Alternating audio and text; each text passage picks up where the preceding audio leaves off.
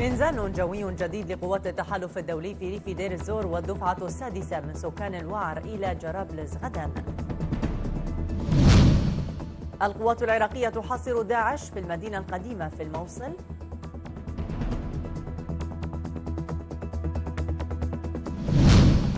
ومدارس بنغازي تتحدى داعش بالموسيقى. أسعد الله صباحكم بكل خير مشاهدينا الكرام وأهلا بكم إلى نشرة اليوم المفصلة من أخبار الآن نبدأها من آخر التطورات في سوريا. إذ نفذت قوات التحالف الدولي عملية إنزال جوي جديدة على مواقع تابعة لداعش في ريف دير الزور الشرقي. وقالت مصادر محلية سورية إن قوات التحالف أسرت نحو 15 فردا من داعش بينهم قياديون كانوا متواجدين في الموقع المستهدف. تأتي هذه العملية بعد سلسلة عمليات إنزال نفذتها قوات التحالف بقيادة واشنطن في ريف دير الزور الشرقي. وإلى مدينة حمص حيث أكدت مصادر محلية سورية تثبيت موعد خروج دفعة جديدة من مهجري حي الوعر المحاصر مساء غد إلى مدينة جرابلس في ريف حلب الشمالي. تضم الدفعة وفق المصادر ألفي شخص بينهم مسلحون وأسرهم. يأتي ذلك تطبيقا لاتفاق مصالحة بين لجنتي حي الوعر وممثلي النظام برعاية روسية. فرضت هدن نظام الأسد الصورية في جنوب دمشق ومن قبلها الحصار واقعا أليما أضر بالمدنيين ومقاتلي الجيش السوري الحر. إذ أدت تلك الهدن إلى إهمال المنطقة ونسيانها لينعكس ذلك الإهمال على حال فصائل الجيش الحر في المنطقة خاصة في تصديهم لتنظيم داعش في الجنوب السوري. التقرير التالي مشاهدينا يرصد حال أحد مقاتلي الجيش الحر في جنوب العاصمة السورية دمشق. عين على الوطن وعين على الجد والكفاح. مقولة لخصت حال كل ثائر في الجنوب الدمشقي. أبو عمر شاب سوري ترك جامعته ليلتحق بركب الثورة ضد الظلم والاستبداد وينتهج أخيرا درب الكفاح المسلح الطويل. نحن كنا نتفرج على التلفزيون شو عم يصير. وشفنا في ظلم يعني من قبل النظام الميليشيات تبعية النظام كانت عم تظلم تقتل بهالقرعة فعندنا بالمنطقة أغلب الناس قامت كمان كانت تتفرج على التلفزيون. قامت إنه تطلع مظاهرات مشان هالدرعة طبعا أنا كنت من بين العالم اللي عم تطلع مظاهرات. لقد فرض حصار النظام للجنوب الدمشقي واقعا مريرا. أجبر الثوار على قبول مهادنات النظام وميليشياته الأجنبية حفاظا على أرواح المدنيين والأطفال هناك. بعد مشاورات بين الكتائب والقادات والأهالي المدنيين طبعا اللي كانوا معنا متحاصرين وجوع وقله ذخيره اضطرينا إنه نهادي النظام مشان الأطفال. وطبعا كله بيعرف المنطقة الجنوبية وقديش ماتت أطفال أيام الحصار. تعرضنا لحصار قوي جدا يعني. ولم يقتصر ذلك الواقع للثوار على جبهات النظام وحسب وإنما ازداد مأساة مع حصار داعش لهم وتهجيرهم في نهاية المطاف. فها هو أبو عمر يرثي نهاية رفاق دربه القدماء على أيدي عناصر داعش في المنطقة. ومن الناس يعني اللي يعني فقدتهم كثير ووجعني يعني رحيلهم واستشهاده وهو قائد مجموعتي أبو الحارس الجولاني. يعني إنسان كان يعني قاتل معنا من بداية الثورة. فينا ذكريات كثيرة معه. بيوم من الأيام آه عملوا له كمين دواعش هو راجع من منطقة ببيلة. كان عم يجيب لنا أكل وغذاء لل... للعناصر وللكتيبة فإذ تفاجأ إنه الدواعش عاملين له كمين يعني على الطريق. قتلوه و... والله يرحمه ويتقبله. إن النسيان الكبير لتلك المنطقة أجبر أبو عمر على مزاولة مهنته رغم جميع الصعاب لكسب قوت يومه. لينتهي به المطاف ما بين كفاح السلاح وكفاح الجد والعمل. إلى العراق حيث تواصل القوات الأمنية العراقية معركتها ضد داعش في مدينة الموصل مع تركز المعارك في المنطقة القديمة بالشطر الغربي من المدينة. وقالت مصادر عسكرية إن القوات العراقية تحاصر المسلحين في المدينة القديمة وإن اشتباكات عنيفة تجري في محيط جامع النور الكبير في حين وصل مجموع من نزحوا من المدينة إلى نحو نصف مليون شخص منذ بدء المعارك وفق أرقام الأمم المتحدة. ومع دخول معركة تحرير الموصل شهرها السابع أعلن مسؤولون عسكريون في وزارة الدفاع العراقية بدء قوات مشتركة بتنفيذ هجوم واسع بغطاء جوي أمريكي يستهدف عدة أحياء يحتلها أفراد داعش في الجانب الغربي لمدينة الموصل. جاء ذلك في أعقاب تأكيد القوات الأمنية تحقيق 80% من المهام المكلفة بها في المدينة. ستة أشهر انقضت على انطلاق عمليات تحرير مدينة الموصل. اليوم ستة أحياء فقط تحت احتلال داعش. الجيش العراقي بمساندة قوات التحالف الدولي استطاع تطهير 32 حيا من أصل 38 في الساحل الأيمن للمدينة. ما يعني أن هزيمة التنظيم باتت أقرب من أي وقت مضى لا سيما مع التقارير التي أشارت بأن عدد أفراده لا يتجاوز الألف عنصر في أكثر التقديرات تساهلا وميلا للمبالغة. عزم القوات الأمنية العراقية على تحرير المدينة بأسرع وقت بدا جليا في الآونة الأخيرة. مسؤولون عسكريون في وزارة الدفاع قالوا إن هجوما واسعا بدأت القوات المشتركة بتنفيذه تحت غطاء جوي أمريكي يستهدف أحياء باب الطوب وباب البيض وسط الساحل الأيمن لمدينة الموصل لإجبار مسلحي التنظيم على التراجع نحو نهر دجلة ومنطقة الكنيسة. هذا الهجوم يأتي في أعقاب تحرير قوات مكافحة الإرهاب لحيي الثورة والنصر وما يقارب 60% من حي التنك. القوات أكدت أنها حققت 80% من المهام المنوطة بها. جاء ذلك بالتزامن مع إحباطها هجوما كبيرا لداعش على مطار تل عفر غرب الموصل وقتلها لتسعة إرهابيين. ومع دخول المعارك شهرها السابع يبدو أن طبيعة الأزقة الضيقة للمدينة القديمة حتمت على قوات مكافحة الإرهاب اللجوء إلى أساليب جديدة ضد مسلحي التنظيم. وهو ما كشفت عنه العملية النوعية للجيش ضد قيادات التنظيم ورموزه مؤخرا. مصادر في الجيش العراقي أرجعت هذا التقدم إلى ما أسمته الرصد الاستخباراتي المكثف لتحركات أفراد التنظيم في الخطوط الخلفية. ويعطف على ذلك قدرة الجيش على القصف الموجه بدقة ما يجعل فرصة النجاة للمستهدفين ضئيلة جدا. في غضون ذلك قالت مصادر في الشرطة الاتحادية العراقية أنها قتلت 18 عنصرا من تنظيم داعش. بينهم القيادي أبو عبد الرحمن الروسي مسؤول التفخيخ في التنظيم إضافة إلى تدمير ثمان آليات مفخخة خلال عملياتها في حي الثورة في مدينة الموصل. في المغرب أعلنت وزارة الداخلية تفكيك خلية إرهابية موالية لداعش مكونة من ثلاثة أشخاص في مدينة تطوان شمالي المغرب. وأكدت السلطات أن المشتبه فيهم كانوا بصدد تنفيذ هجمات إرهابية ضد أهداف ومنشآت حيوية في البلاد واغتيال مسؤولين أمنيين. أعلنت الرئاسة المصرية في بيان لها أن الرئيس عبد الفتاح السيسي سوف يزور المملكة العربية السعودية يوم الأحد المقبل للقاء العاهل السعودي الملك سلمان بن عبد العزيز.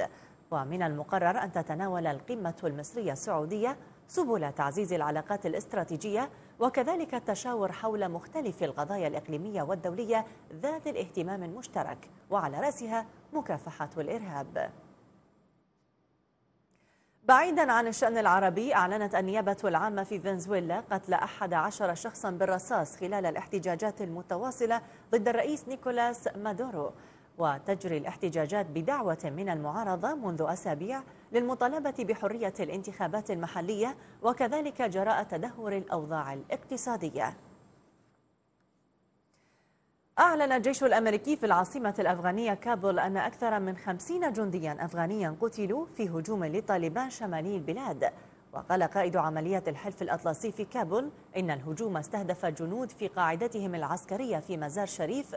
وذكرت وزارة الدفاع الأفغانية أن ثلاثة مسلحين هاجموا القاعدة مرتدين زيا عسكريا وأن المعركة استمرت لساعات وانتهت بقتل أحد المهاجمين واعتقال آخر. نشرتنا مستمرة مشاهدينا وفيها بعد فاصل قصير. داعش يتبنى هجوم الشانزليزيه في فرنسا.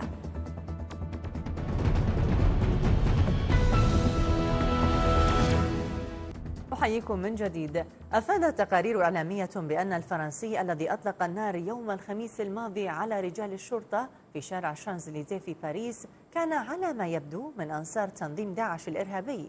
وبحسب مصادر مقربة من التحقيق فقد عثر بالقرب من جثة المسلح على رسالة تضمنت كلمات تدعم التنظيم الإرهابي.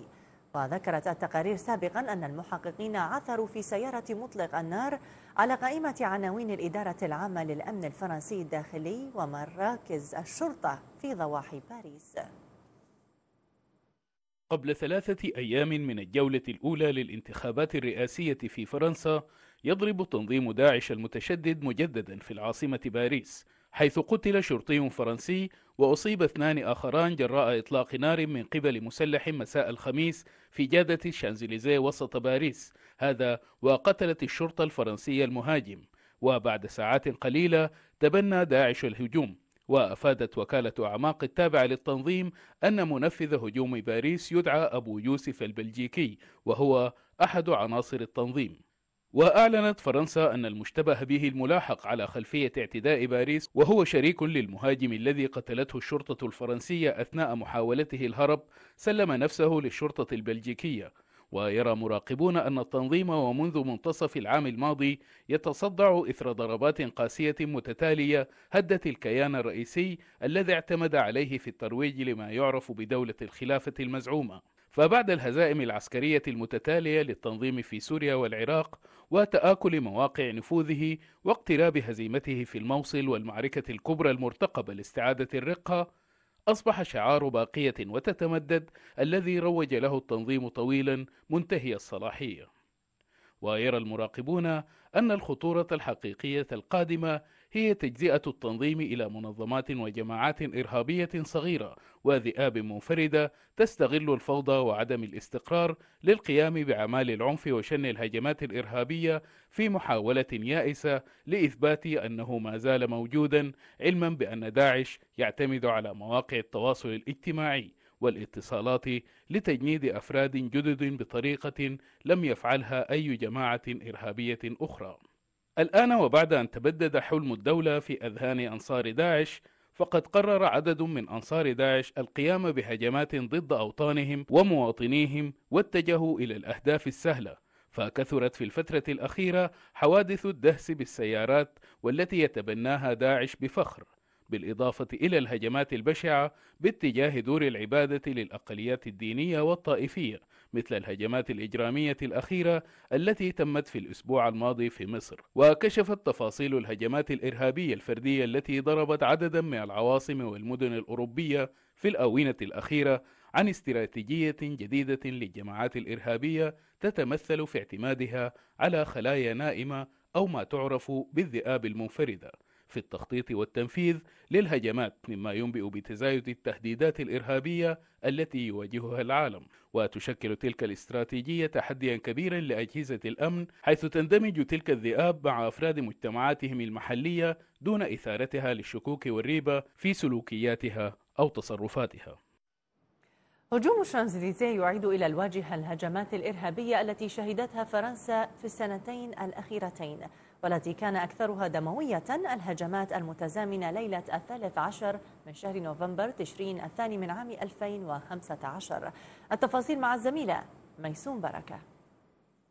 في السادس والعشرين من يوليو تموز 2016 قام عبد المالك بوتيجان وعادل كرميش بذبح قس في كنيسته غرب فرنسا وقتلا بعد إطلاق النار عليهما وأعلن تنظيم داعش مسؤوليته عن الهجوم. في الرابع عشر من تموز يوليو من العام نفسه صدم محمد لحويج بوهلال وهو فرنسي تونسي يبلغ عمره 31 عاما بشاحنة. صدم حشدا في مدينة نيس على البحر المتوسط وقتل 86 شخصا وأصاب أكثر من 400 آخرين. وتبنى تنظيم داعش الهجوم. في الثالث عشر من يونيو حزيران 2016 أقدم المتطرف العروسي عبالة الذي بايع داعش على قتل مساعد قائد شرطة في منطقة إيفلين بالسكين مع صديقته التي تعمل موظفة إدارية في مخفر داخل منزلهما في مانيانفيل غرب فرنسا.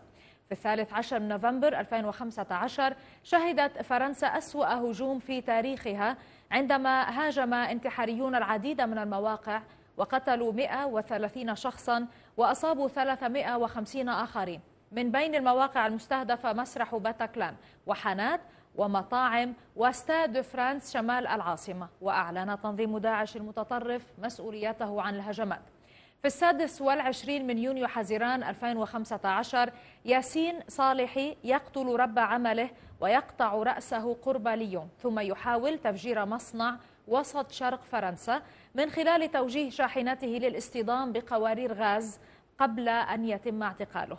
في شهر يناير 2015 الإخوان شريف وسعيد كواتشي يقتلان 12 شخصا في هجوم مسلح على مقر مجلة شارلي إبدو الأسبوعية الساخرة.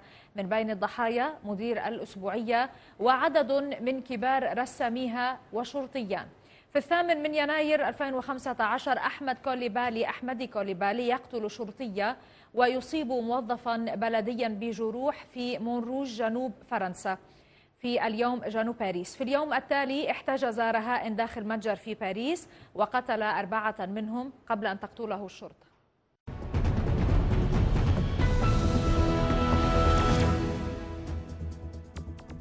بدأت الحياة تدب في مدينة بنغازي وبدأت معها المدارس في فتح أبوابها من جديد في وجه الطلاب الذين انقطعوا عنها بسبب الأوضاع الأمنية. اليوم وبعد تحسنها يحرص كثير من الطلاب والطالبات على مواصلة مسارهم التعليمي وحمل شعلة العلم لمحاربة الجهل والظلام.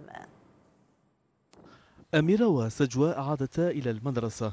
تزامنا مع فتح العديد من المدارس في مدينة بنغازي الليبية أبوابها للطلاب وعلت الفرحة على وجوههم بعدما أجبروا من قبل على ترك مقاعد الدراسة بسبب الأوضاع الأمنية. بعد تطهير المدينة من داعش استعادت بنغازي عافيتها وعادت الحياة إلى طبيعتها. نحن لنا سنتين ونص يعني طالعين من حوشنا بسبب داعش. بس آه، ومش عارفين حوشنا مشينا عليه أصلا. من سنتين هذينا ما شفناش عليه هل هو في ضرب أو هيك بس مازال حاطين في أمل. وحتى لو ان شفناه طايح مش حيوجعنا لأن في شهداء ماتوا علشان إحنا نعيشوا فهذه الحاجة مش تأثر فينا. حاجة الماديه مش حتأثر فينا. في أرواح ماتت عشان إحنا نعيشوا إن شاء الله يا ربي تحرر ليبيا. ونردوا كيف قبل ونثبت للعالم كله أن ليبيا تستاهل الأحسن. وقول لهم يعني ما تخافوش يعني كيف نحن كيف نقروا قاعدين وكيف آه، نجيب نحوش من مدرستي إني ما نخافش وآمن وأمان. يعني محافظين أن شباب بنغازي وجيشنا يعني حارسين على الأمن وامان يعني ما نقول يعني اللي خايف أو شخص يعني خايف إنه يجي المدرسة أو يقرأ ونقول الصوت ضارب نسمع في صوت ونقول له يعني تعالوا أقرأ شجاع خليك شجاع ما تخافش من تولي البلاد يعني يقولوا خايضة. وني نقول امن وأمان يعني وجيشنا محررها و وإن شاء الله في أمن وأمان. طبعا أيام الدواعش ما كناش نقدروا نديروا شيء وكاينين محرمين علينا كل حاجة. يعني وكل حاجة عندهم كانت حرام وعيب. فنحن تو نجهزوا في فريق موسيقي. يعني مسموح لنا أن نقدموه بفضل الجيش وفضل المدرسة الحمد لله. لكن يعني أيام الدواعش ما كانش نديروا في أي حاجة من هذه طبعا هم يدمروا ويشبهوا ويشوهوا في سمعتنا بس نحن الحمد لله يعني كل يوم التقدم التقدم ورحمة على الشهداء. وإن شاء الله يا ربي من الأمن للأمن إن شاء الله ربي يعم على ليبيا وعلى الوطن وأهله كله حصة الموسيقى هذه. كانت من بين المواد التي يحظر تدريسها. أما اليوم فقد تغير الوضع بعدما استتب الأمن بداخل المدينة. نحن الحمد لله لما تو يعني تريحنا من داعش تفكينا منهم التكفيريين هذوما واللي محرمين كل حاجة. هي كل حاجة على استعمالك تستعملها في الخير تلقاها في الخير.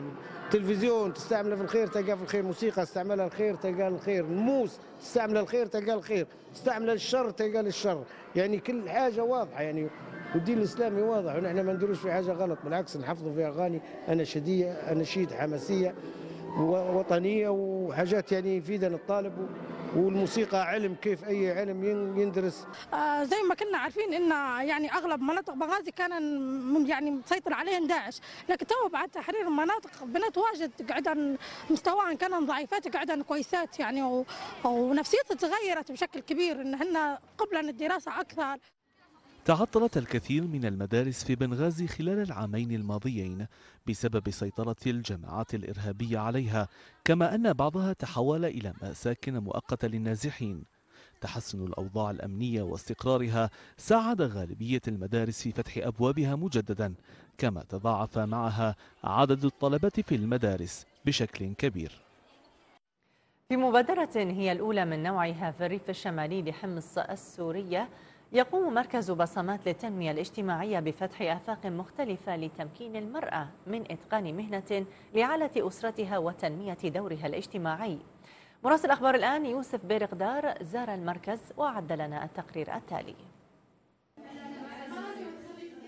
في سياق دعم المرأة بالمجتمع السوري تبادر بعض المنظمات لتفعيل دور النساء في مناطق الداخل حيث أقام مركز بصمات للتنمية الاجتماعية في ريف حمص الشمالي دورات تدريبية مجانية في العديد من المجالات المهنية كالخياطة والتمريض وتطريز الملابس وأشغال الصوف والحلاقة النسائية فشروط الانتساب ليست محصورة بفئة عمرية أو شريحة محددة. يقوم المركز بتقديم عدة برامج من هذه البرامج التي نقدمها لدينا برنامج التمكين المعرفي وبرنامج التمكين الاقتصادي والذي يشمل ورشات مهنية منها الخياطة والتطريز والصوف والتجميل بالإضافة لدينا التعليم الصحي والذي يشمل التمريض والمعالجة الفيزيائية وأيضا نقوم بتقديم محاضرات عن التوعية الصحية. دور المرأة لا يقتصر على العمل التطوعي فالكثير من النساء فقدن رب الأسرة إما شهيدا ومعتقلا وربما جريحا بات غير قادر على القيام بمسؤولياته لكن إتقان المرأة لمهنة يتيح لها العمل في أي ظرف ومكان لحمل المسؤوليات التي ألقيت على عاتقها. الأمر الذي سيعطيها الثقة الأكبر بنفسها وبدورها تجاه الأسرة والمجتمع. نقوم على تعليم السيدات مهنة الخياطة. آه، شيء مشجع جدا إنه الإقبال كل ماله عم يزود علينا ونبدا تعليم هون ابتداء من الغرزه مرورا بملابس البيبي أخذ المقاسات العامة وملابس الأطفال والملابس النسائية. قمنا بتخريج عدد من السيدات. جيت لهون عشان أتدرب. أول شيء كانت عندي هواية وصارت مهنة مهنة الخياطة. كثير لقيت عليها مردود كثير حلو لإلي ولأولادي. وغير هيك ثقتي بنفسي صارت كبيرة وأنا كنت هلقتيني أنا صرت فعالة بالمجتمع. أنشئ هذا المركز ليكون منصة لدعم وتمكين النساء في ظل ازدراء الأوضاع المادية لمعظم الأسر في المناطق المحررة. يوسف بيرقدار أخبار الآن ريف حمص الشمالي. نشرتنا مستمرة مشاهدينا وفيها بعد فاصل أخير. فنان فرنسي يحضن عشر بيضات فماذا كانت النتيجة؟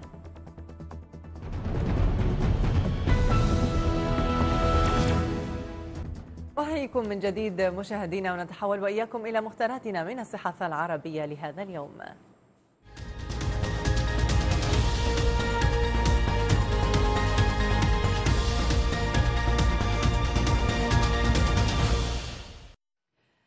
جولتنا الصحفية القصيرة مشاهدينا لهذا اليوم خصصناها للأخبار التكنولوجية والبداية من صحيفة القبس الكويتية التي اخترنا منها لكم. جوجل ستضيف ميزة تمنع الإعلانات افتراضياً. جاء في تفاصيل الخبر تعتزم شركة جوجل إطلاق ميزة جديدة لمنع الإعلانات ضمن نسخة سطح المكتب ونسخة الأجهزة المحمولة من متصفح الويب الشهير كروم. الميزة التي يمكن تشغيلها افتراضيا داخل كروم ستعمل على تصفية بعض أنواع الإعلانات الإلكترونية التي ينظر إليها على أنها تقدم تجارب سيئة للمستخدمين أثناء تصفح الويب. اخترنا لكم مشاهدينا من صحيفة اليوم السابع المصرية. هذا العنوان مايكروسوفت ستطلق تحديثات ويندوز المقبلة في شهري مارس وسبتمبر من كل عام. كشف تقرير جديد أن شركة مايكروسوفت تستعد لإرسال التحديث الرئيسي الكبير لنظام تشغيل ويندوز وحزمة برامج أوفيس في شهر مارس وشهر سبتمبر من كل عام. تقارير سابقة أشارت إلى وجود ميزة تمنع التطبيقات من العمل في الخلفية لتوفير طاقة البطارية بالإضافة إلى تغيير في تصميم واجهات النظام وإضافة مزيد من الشفافيات للنوافذ مع تغيير في تصميم قائمة ستارت صحيفة الغد الأردنية مشاهدينا عنونت بين صفحاتها لهذا اليوم إنستغرام يدعم العمل بدون اتصال بالإنترنت. كما هو الحال في فيسبوك أصبح إنستغرام يدعم العمل بدون اتصال بالإنترنت بمعنى أنه يمكنك تصفح الصور وإنشاء صور جديدة والإعجاب والتعليق بدون الحاجة لتوفر اتصال حالي بالإنترنت. ولاحقا عند الاتصال سيتم تطبيق كل شيء ومزامنته.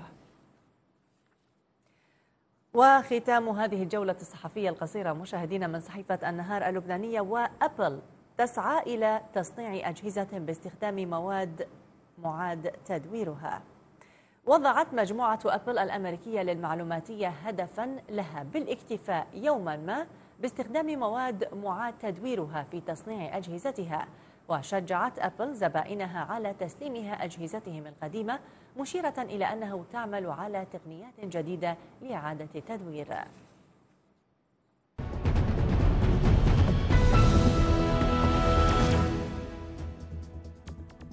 نعود إلى أخبارنا مشاهدينا وفيها أيضا في الرياضة أسفرت قرعة الدور نصف النهائي لدوري أبطال أوروبا عن مواجهة جديدة بين فريقي العاصمة الإسبانية ريال مدريد وأتلتيكو فيما يصطدم يوفنتوس الإيطالي مع موناكو الفرنسي. حامل اللقب ريال مدريد يستضيف أتلتيكو في ملعب سانتياغو برنابيو في الذهاب في الثاني من شهر مايو أيار المقبل. في حين يستضيف موناكو يوفنتوس في ملعب لويس الثاني في الثالث من شهر مايو أيار المقبل بينما يقام الإياب في التاسع والعاشر من الشهر ذاته. في خبرنا الأخير وبعد أن أمضى أسبوعين داخل نحت مجوف لدب أسبوعا داخل صخرة نجح فنان فرنسي في تجربته التي بدأها أواخر شهر آذار مارس الماضي بعد أن فقس البيض الذي رقد عليه لنحو ثلاثة أسابيع داخل حاوية زجاجية مستخدما حرارة جسده حتى تتم عملية الفقس. ولإتمام تجربته جلس الفنان على مقعد متدثرا بغطاء مصنوع من مواد عازلة في حين وضع البيض في حاوية مثبتة تحت المقعد. وكان يغادر مكانه فوق البيض لما لا يزيد عن 30 دقيقة في اليوم لتناول وجباته.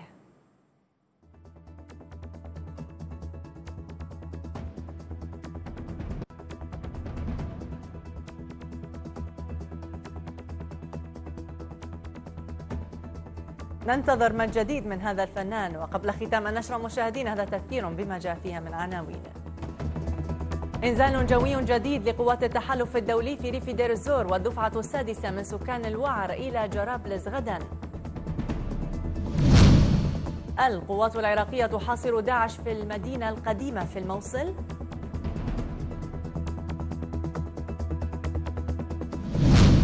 ومدارس بنغازي تتحدى داعش بالموسيقى.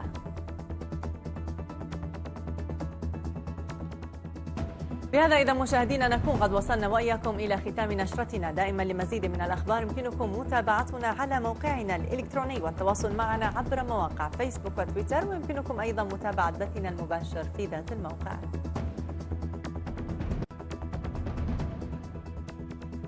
مشاهدينا أعود ألتقيكم بعد أقل من نصف ساعة في موجز الأنباء. دائما كونوا معنا.